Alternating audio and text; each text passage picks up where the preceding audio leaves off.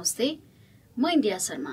आज हामी कक्षा चारको सोसल स्टडिज अन्तर्गत इकाइ तिनमा रहेको झगडाको समाधानको बारेमा अध्ययन गर्न गइरहेका छौँ। आउनुहोस् कक्षा कोठातिर लागौँ नमस्ते सबैजनालाई।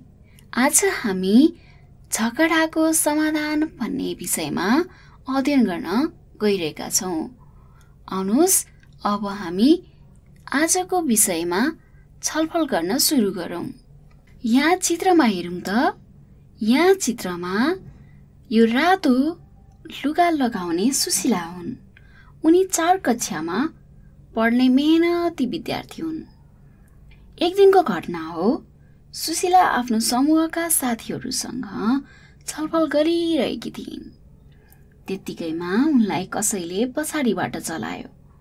उनी पछाडि फर्केर हेरिन् र उनले त्यहाँ आसमालाई देखिन् र केही सोच्दै नसोची उनी आसमासँग झगडा गर्न थालिन् आसमाका साथीहरू र सुशीलाका साथीहरू बिच पनि भनावन हुन थाल्यो।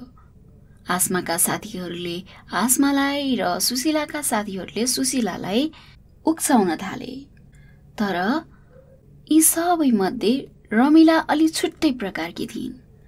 उनले झगडामा सामेल नभइकन उनीहरू बिचको झगडाको कारण खोज्न थालिन् अनि उनी सुशीला भएको ठाउँमा गइन्।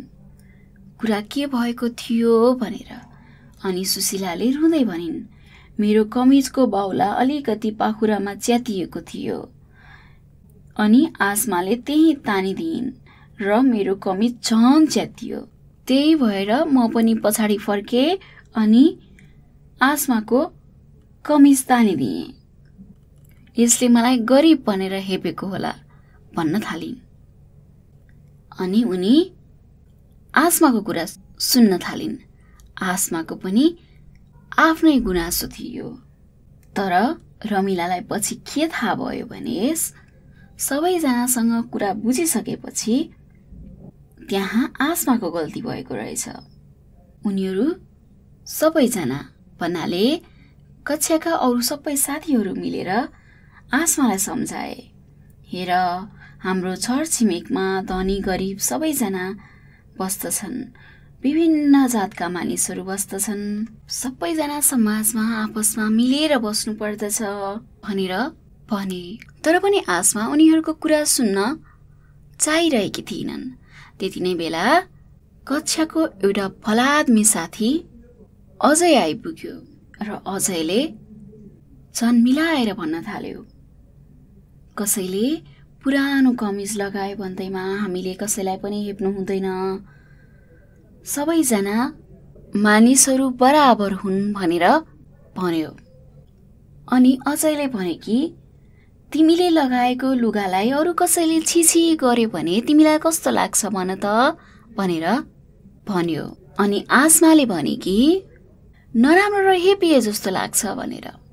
अनि आसमाले त्यसो भनिसकेपछि रमिला र अजय भएर आसमालाई भने कि हो तिमीलाई नराम्रो लाग्छ भने अरूलाई पनि त त्यस्तो गर्दा नराम्रो लाग्छ भनेर। उनीहरूले आसमालाई सुशीलालाई कति चोट पुग्यो होला सोच त भनेर पनि भने। अनि कक्षाका सबैजना साथीहरूले जे भन्छन् त्यो मान्नुपर्छ भनेर पनि उनीहरूले आसमालाई सम्झाए। आसमाले उनीहरूको कुरा बुझिन् तर पनि सुशीलासँग माफी माग्ने कुरा भने उनीहरूलाई अलिकति चित्त बुझेन त्यसपछि जब रमिला र अजयले सुशीलाले पनि माफी माग्नुपर्छ किनभने सुशीलाले कक्षा शिक्षकलाई नभनिकन झगडा गर्नु हुँदैन थियो भने त्यसपछि आसमाले पनि र सुशीलाले पनि दुवैजनाले आफ्नो गल्ती भएको स्वीकार गरे र उनीहरूका साथीहरूले उनीहरूलाई बराबर व्यवहार गरेर निर्णय लिएको पनि थाहा पाए। त्यसपछि उनीहरू अब झगडा गर्दैनौ भनेर माफी मागे। एकअर्कासँग र उनीहरू दुवैजना खुसी भए। त्यसपछि आजसम्म उनीहरू दुवैजनाको एकअर्कासँग कहिले पनि झगडा परेको छैन। यो त भयो एउटा कक्षामा दुईजना साथीहरू बिचमा भएको झगडा। यस्ता झगडा हाम्रो कक्षामा हाम्रो परिवारमा जहाँ पनि हुनसक्छ।